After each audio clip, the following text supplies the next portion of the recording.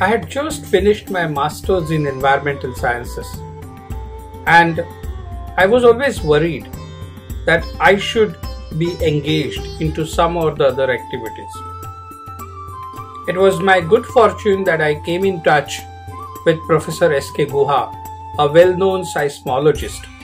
He has already retired from Central Water Power Research Institute, uh, a research station in Pune and he wanted an assistant to help him to work on documenting these seismic events that has happened in India. And so here I was at his house.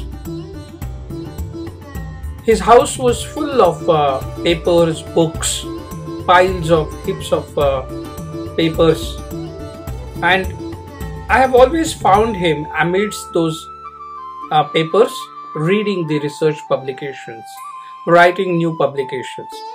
So he was in his uh, 70s, I believe.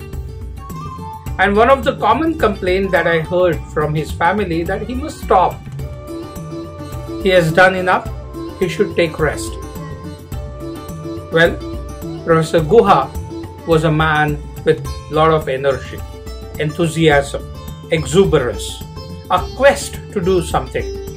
And each time I would ask him as to why he would like to continue working. He would reply me that always be useful. Don't remain unused.